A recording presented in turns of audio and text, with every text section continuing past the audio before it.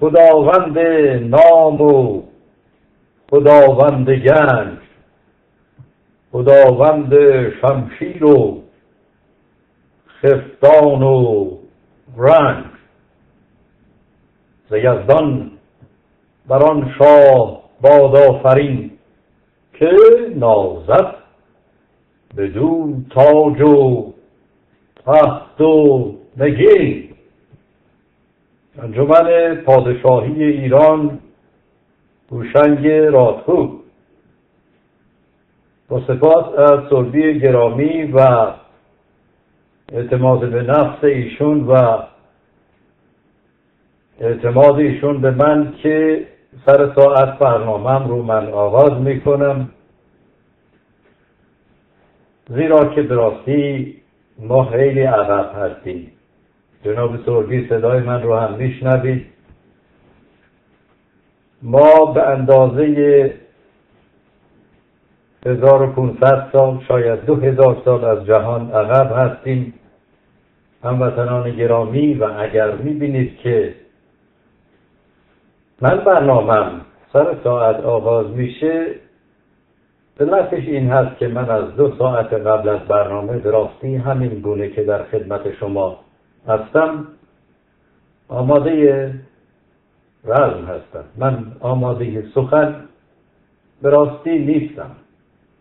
من سخن ور نیستم. هموطنان گرامی و باور به سخن هم ندارم.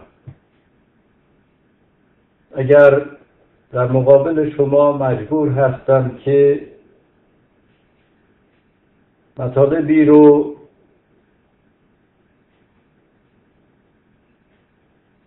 به استحضار شما برسونم. هموطنان گرامی راه دیگری به راستی ندارم و راه دیگری هم نیست. زیرا تا اونجایی که ما با مشکلات در واقع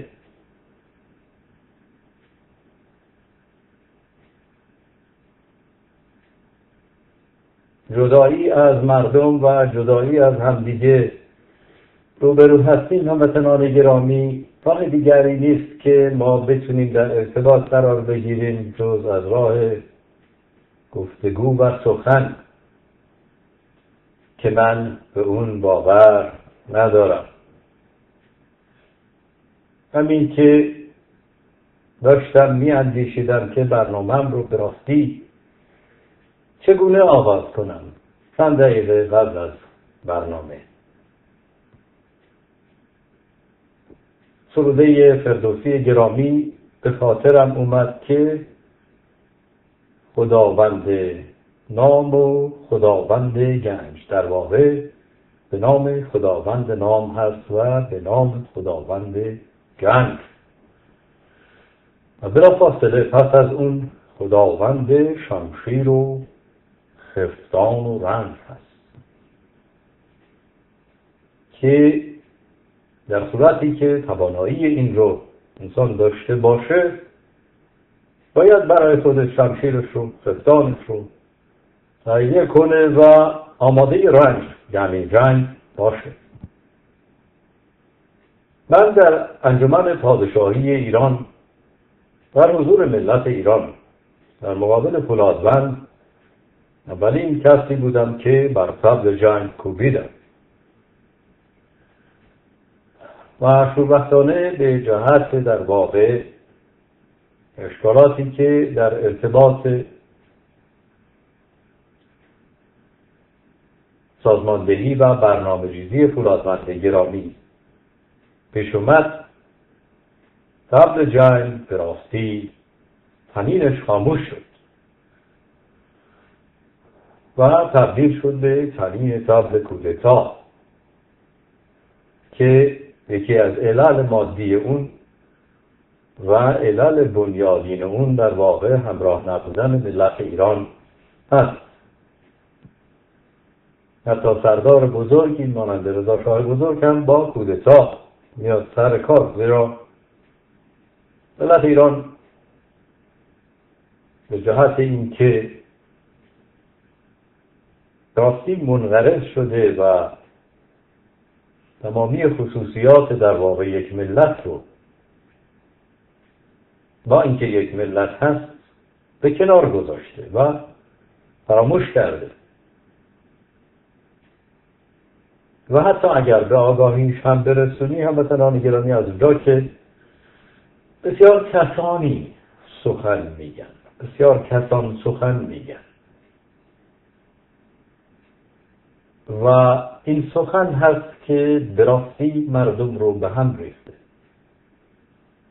ملت ایران رو براستی سخن هموطنان گرامی به هم ریخته. همینطوری که میاندیشیدم در ارتباط سگی یک نوع از سگ یک نژاده سگ که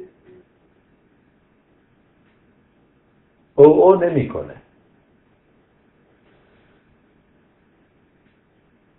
مانند دیگر سگها در واقع صدای از خودش صدای واه یا او او یا صدای تازی تازی در واقع. از خودش در واقع بروز نمیده.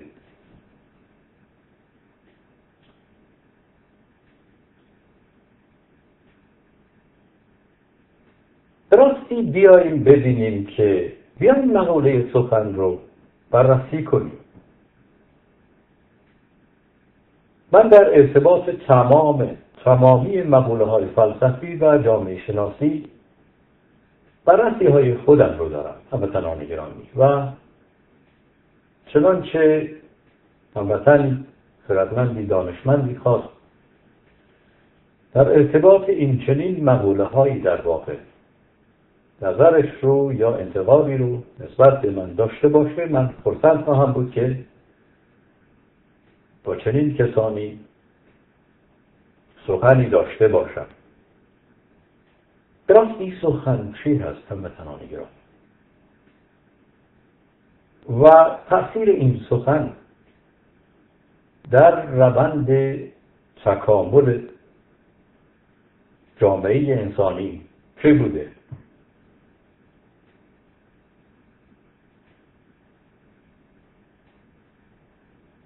جامعه انسانی پس از در واقع اینکه آرام آرام راه تمدن رو پیش گرفت و راه دانش رو سخن چه نقشی رو بازی کرد در این روند و چه تأثیری رو در این روند گذاشت هم وطنان گرامی درستی من زیاد خورسند این مطلب نیستم. فردوسی گرامی مقوله ای رو با در واقع سخن آغاز می‌کنه. میگه سخن هرچه گویم همه گفتن باور به سخن نداره هم به گرامی. میگه بر باغ دانش همه رفته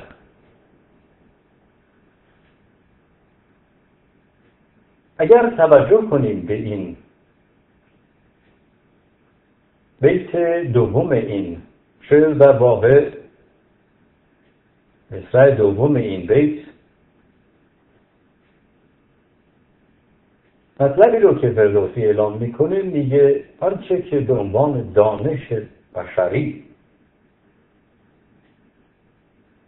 توسط سخن در ارتباط دیگران قرار می‌گیره هموطنان گرامی. چیزی جز یک. غلط بیشتر نیست. بسیار جالبه که ما به فردوسی گرامی و به تمدن ملت ایران چنانچه نظری بندازیم